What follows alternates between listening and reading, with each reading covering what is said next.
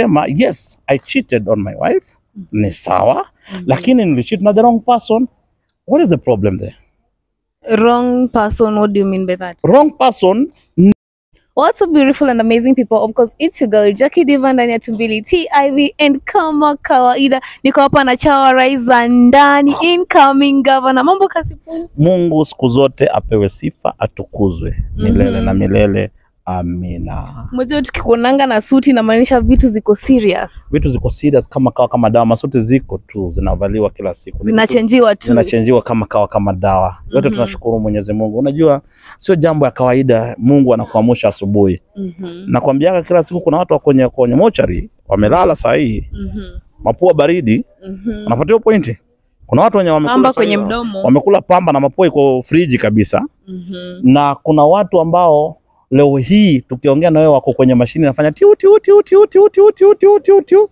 Kweli. wewe unalewa wewe unalewa unalewa na kuna mtu amelemewa na mahewa mm. unapatiwa pointi Kabisa. kuna watu sahii hawawezi kutembea vizuri mm. kuna madada sahi hawatembei vizuri Mhm. walitolewa airlog Mhm. sio kitu kucheza hii airlog ilikatwa inatwangaje nini ile nini angle tita ile kote inaitwaje ile kitu ile nini ile ile joint ile ball joint kuna madada sasa hivi ile tunaongea na yeye as we speak ball joint yao walidisconnectiwa na wa Nigeria so ni kitu ambao ukisimama uko binadamu mzuri unatembea umenyoa. tu unashukuru Mwenyezi Mungu Kabisa. eh unashukuru Mwenyezi Mungu niambie Abedha Kaspul tumeona yule dogo huyo aitwa Rayvanny amekuposti pale. Eh, maybe eh, mnapanga kitu nini? Ah, Vanny Boy, Vanny Boy nimemwona kaniposti kwenye stories na kanitag na kanifollow. Na yule ni mdogo wangu uh, na nilikwambia Vanny Boy eh, ni Mkenya. Kwao ni hapa pale panaitwa Bondo. Ukifika kuna stage pale Bondo inaitwa Gobei. Baba yake anaitwa Ochola Makoyo. Rayvanny ni mtoto wa Kijaluo. Unapatiwa pointi, na ndio maana nikipigwa kina Diamond nikiwaambia wasikanyage Kenya, wasitembee, wasifanye chochote, kwa sababu wameharibu mziki ya Kenya. I go slow kwa Vanny Boy, Vivan Van Boy. Vivan Van Boy, mtu mbaya. Unapatiwa point kwa sababu kwao ni pale panaitwa Gobei, na ndio maana kajiita chui, kwa vile hiyo area ilikuwa na kitambo na bush na kulikuwa kuna machui mingi. Babu yake anaitwa chui kwa Kijaluo na ginenyocha chui lungo na degi kwach. Babake anaitwa babu ya babu ya Van Boy anaitwa Kwach. Sasa kwa vile alienda Tanzania akajibadilisha akapewa jina chui. Kwao ni hapa Gobei hapa hivi. So kwa at the end of the day tunaheshimu the fact that Vanny Boy ni Mkenya mwenzetu, anatoka pale panaitwa Gobei karibu na Bondo. In fact uko ya familia yao na familia ya Raila Amolo Odinga wako babu ya Vanny Boy na babu ya mwenye amezaa sasa Kwach Maen Wodogola. Unapata point? Sasa Kwach Mwodogola.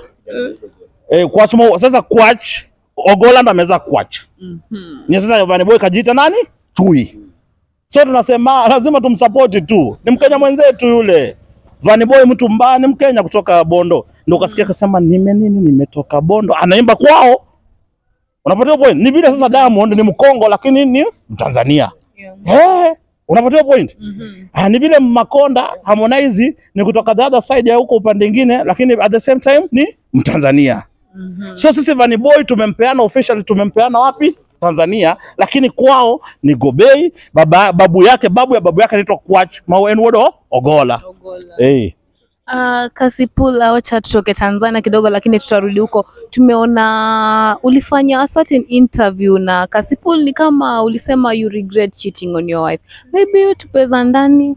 Hii kitu mmedwell ndani sana kwa sababu gani? Gabriel, hujatuambia za ndani. Eh, ni kitu ya kawaida. Watu wanapitia mapito kama kawaida, na kwa hii dunia lazima watu wanasema your best teacher, your, the, uh, your best teacher is your, is, is, is your last mistake.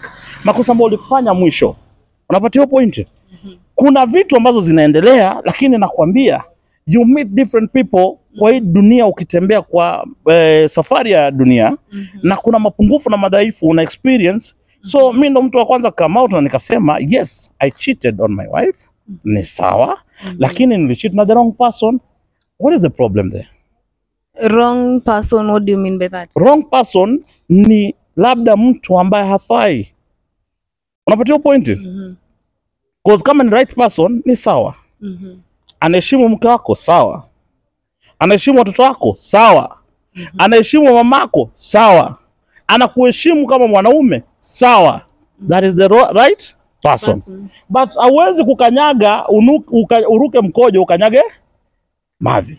Mhm. Unapatia pointi? Yeah. na tumewekewa mentality fulani ya kwamba wanaume wote unaonanga wakitembea hii town, unaonanga unasema ya kwamba hao wanaume wamenyooka kama post ya stima. I wish, I wish tungewacha maneno ya uzunguni, tukae chini na wazee ambao ni wa kitamaduni ya Kiafrika waseme ya kwamba badala wewe mtoto wa kiume kuenda kuzunguka na kitu yoyote unapata unalala nao huko nje, ati kwa sababu you want to prove to the community or to the society that you are a straightforward person mm -hmm. that ya kwamba I only have my wife, mm -hmm. wanakuruhusu wanakuambia kwamba badala ya kuruka na kila kitu, tafuta mke mwingine, ongeza akuwe msaidizi wa mke wako. Mm -hmm. Uh, maybe Let me tell you, that is the problem that we have, and we are facing as men because we don't want to have a sit and have a conversation that will change the perception na mind ya watu. And that's why unaona watu wote, wanaume wote wanaenda through mapito, wanapitia maneno mazito, wengi wanakufa na mental health, depression imewaua. Mtu amerudi kwa nyumba, amedunga bibi kisu, amejidunga kisu, ameenda, angeweza taka kuongea. Unapatia pointi? Yeah. Na ndo kuna cheating kwa marriage as we speak. Watu ambao wana cheat kwa marriage, watu wenye wana cheat saa hii 90% ni watu wenye wako kwa marriage. Wasichana wadogo wa cheat, wenye wako single. Kwa sababu gani? Vijana wanaangalia wanasema huyu mwanamke ameoleka, ana responsibility. The best thing I can do ni kwenda kulala naye, nikimaliza naye narudi huku. Hata kuja kuniuliza kwamba nataka e, ya makucha ya macho, ana feel anafanyia a married woman favor. Unapatia point? kabisa. na mwanaume anajua nikienda kuanya nje nitajishield na bibi yangu, niseme si unajua bibi yangu akikujua atafanya nini? Atakupiga. So anakutumia wewe kama mtoto msichana. mm -hmm. Watu wanabaki sasa hivi wamebaki wako single. Siku hizi ukiingia kwa flat yote hii Nairobi, hata estate yote, magari nye zinatoka asubuhi zikienda kazini kumi out, out of 10 utaona wawili ndo wako na mabibi zao wanatoka, kila mtu single mother, single women, single women, single women, they are okay. Because wanasema ya kwamba at the end of the day hakuna wanaume. Wanaume. Lakini tungeweka hii kitu ikwe ya kwamba Jackie, unakubali na unasema ya kwamba nimepata huyu mtu ako na mke, mimi nataka kuwa mke wake wa nani, wa pili, ni mheshimu, nimpende, tuongene, tu, tutembee kwa pamoja, then atungekuwa na hiyo kitu. Sasa ndo itabidi ugonjwa itakuwa too much. Mm -hmm. Ugonjwa itakuwa nini? Too much.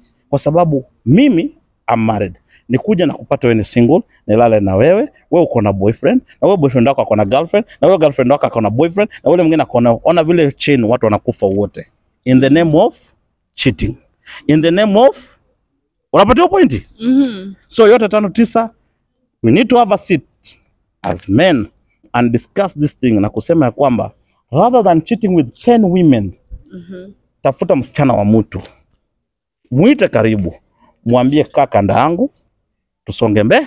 And I will tell you this discussion, leaders especially from church wangependa kuiongea. Kwa sababu gani? Wanahisi ya kwamba sio conversation ambao ni healthy na ni religion, but the day we will walk out of that thing ya kwamba you have the fear of God but at the same time unaweza kukua na uwezo ya kusema ya kwamba ndo ni control mwili. Unaona madini ya Kiislamu wanasema ya kwamba kuwa na wangapi, kwa sababu wanajua mtoto wa kiume ni mtoto mbaya sana.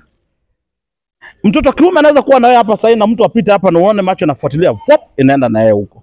Unapatia hiyo pointi? So the day tuta rise on occasion na tuongelee hizi vitu. Mhm. Juzi tulikuwa tunaongea hapa na rafiki yangu Kotia, tunasema kwamba unaona vijana wote wenye wanatembea hii town wanataka Mungu, but wanaenda wapi? There is nowhere to go. Yeah. There is nowhere to go, kwa sababu at the end of the day you walk in in a church, unaingia kwa kanisa, the next thing unapata yule ambao ni mwenye dhambi, mwenye amepiga mtu risasi, mm -hmm. mwenye ameua mtu, mwenye amepora pesa, amechukua pesa corruption, ameumiza nchi, amefanya kitu nye amefanya, ameumiza mahospitali, ameumiza manini, na anapewa kiti mbele anakaa. Kwa sababu gani? The day we will not respect politician in church, wakae nyuma kama watu wengine, wakae huko nyuma kama watu wengine, kwa sababu nyumba ya Mungu iletee upuzi. Atuwe ni mheshimiwa, uheshimiwa yako enda nao huko nje kwa bunge yako, kwa county government yako, penye huko. The day wata respect kanisa na wajua kwamba wawezi ingia kanisa na wafanye upuzi na watoke, that is the day we'll have a conversation that young men watatafuta Mwenyezi Mungu. But so long as tuko hivi, unaingia unapata wauaji wameketi mbele, watu wa corruption wameketi mbele, trust me we are going nowhere as a country. Okay. Uh, so in short, una agree with the sentiments zenye Mr. Sid aliweka pale kwa social media that uh, men are naturally polygamous. They are naturally polygamous kwa sababu uh, number one, number one. Mm -hmm.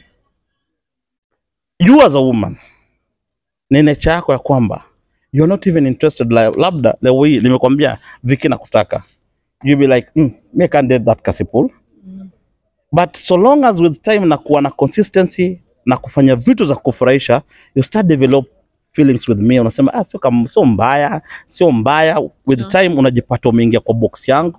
With time unaanza kunipenda. Lakini mimi the more na kuchase kuna kitu nataka. The day ninapata hivyo naanza ku lose interest narudi chini.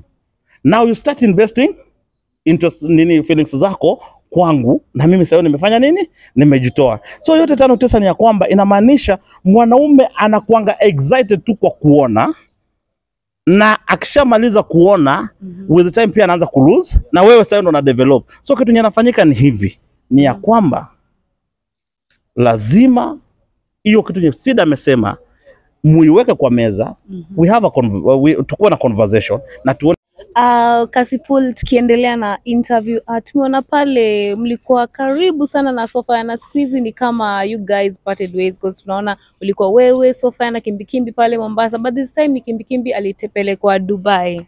What is really happening? Sasa nikuulize swali rahisi, shida ni kimbikimbi kwenda Dubai ama shida, what makes you think that uh, atuko na Sofia? Cause uh, ile ukaribu siku hizi hatuoni. Ukaribu ni ya kwamba Sofia anaishi Austria, Kasipul anaishi Kenya. Sofia akitoka Austria kukuja Kenya anakwanga anakuja kwa sababu kuna sababu imemleta ambayo ni ya kibiashara ama ya event. Mm Unapatia hiyo pointi? Sofia ana shughuli zake mingi na mabiashara zake mingi. Unapatia hiyo point? Kabisa. Siwezi kutoka ati naenda Austria ama naenda wapi ati kwa sababu tuko ati lazima wewe nikuja nikuprovie tunafanya kazi na Sofia. Wewe si unafanya kazi na Tumbili, unatemeka na Tumbili kila siku. Unapatia point? So eh, Sofia tuko bado together, bado tuko niko kwa payroll, nakula pesa sana, niko kwa mshahara ya Sofia. Unapatia point? Niko kwa mshahara nini? ya Yeah, Sofia. Sofia.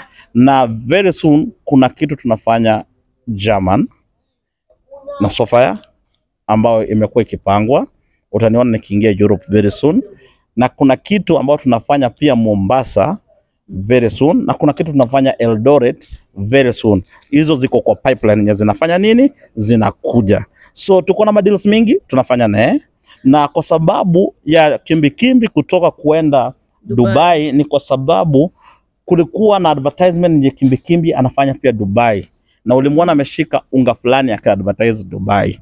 Mimi umeniona off late nafanya back to back na record the whole night, nikuwe nikufanya nawe interview. Nikitoka kufanya nawe interview, lazima niende nifanye kazi zangu ambazo ni zingine tofauti za kiofisi.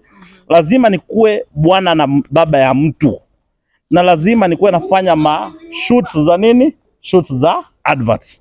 So tumekuwa tuko busy the whole uh, month tukifanya kazi na tukasikilizana na tukakubaliana ya kwamba we split, ndio kila mtu afanye kazi, alafu tukifanya event ambayo inatuunganisha sisi wote Kenya, tutakuwa sisi wote very soon, utatuona naye. Kuna kitu kingine Yeah, tukimalizia Kasipul, by the way tumeona eh, ni kuma sign ma deals pale, tunaona unafanya kazi na DJ Shiti kidogo kidogo, tunaona Jalango na kuembrace pale kama incoming governor. Yeah. Ah, Kasipul ni god. ni God number one. Mhm. DJ Shiti ni mtu ambao aliniingisha kwa game, mm -hmm. you all know mm -hmm. without DJ Shiti kwanza Mungu ndiye ameniintroduce kwa game. mm -hmm. Then number two, DJ Shiti played a very big role because Shiti ndo ali re- realize mimi ni actor. Shiti ndo aliniambia Kasipul, you can do better in acting mm -hmm. kwa sababu nakumbuka the first day I went to visit DJ Shiti, nilikuwa naenda kuongea naye kuhusu Jitume Nation, akuje tufanye show in Madhare. Nikakutana na dem anaitwa Nadia Mukami, bibi ya Aroboy shemeji yetu mm -hmm. walikuwa wanafanya acting na DJ Shiti, akaniambia kuja usimame nifanyie kwa sababu mtu hajakuja. Since then Shiti akasema you have something and please work on it. Na corona kukakuja na lockdown mm -hmm. ambao tulikuwa 24/7 tuko na DJ Shiti, tunatembea naye tunafanya naye acting.